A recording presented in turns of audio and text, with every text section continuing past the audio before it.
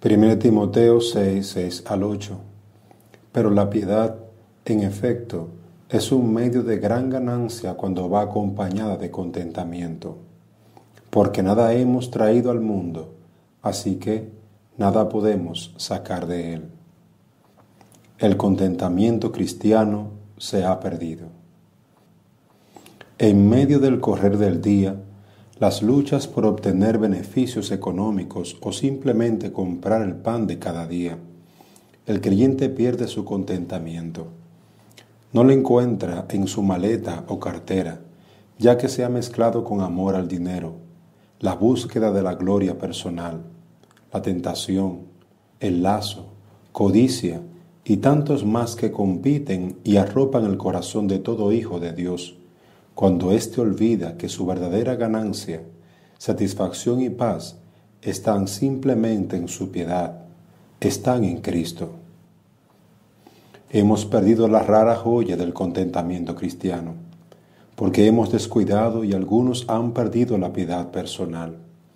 Hemos olvidado que Cristo es lo más importante, es la verdadera joya, la perla de gran precio el tesoro escondido en el campo que por una vez nos atrevimos a venderlo todo para adquirir dicho tesoro. La piedad nos eleva por encima de las cosas pasajeras y que nunca trajimos al nacer y que no podremos sacar al morir, para estar satisfechos tan solamente en Cristo, o como nos dice el texto, contentos. El contentamiento es el fruto de la obra de Cristo a nuestro favor pero también es nuestro trabajo el estar involucrados en la búsqueda del reino de Dios y su justicia.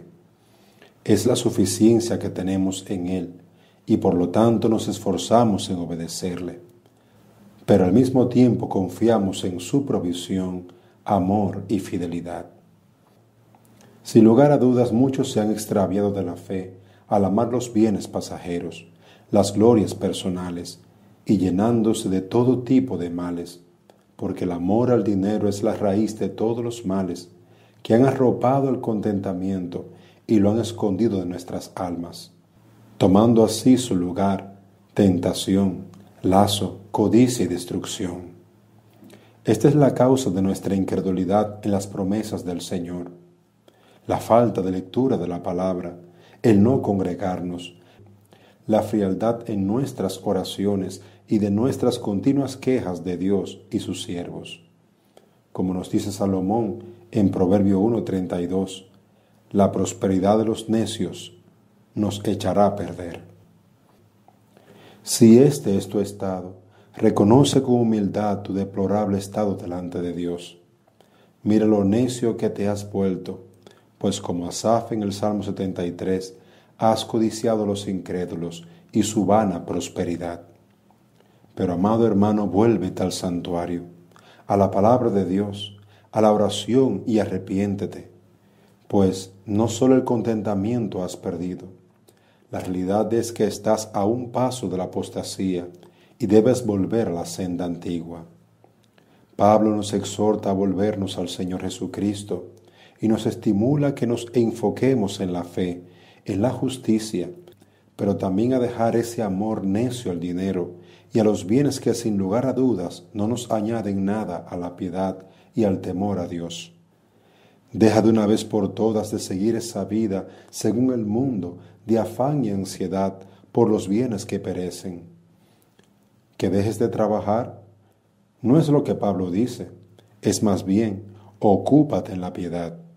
Deja la senda de los necios y esfuérzate en agradar a Dios en ser como Cristo y ser santo, justo, misericordioso. Y desiste de amar las riquezas y los bienes pasajeros. Y busca tu única satisfacción o contentamiento en Dios, en sus promesas, en su provisión, en su amor.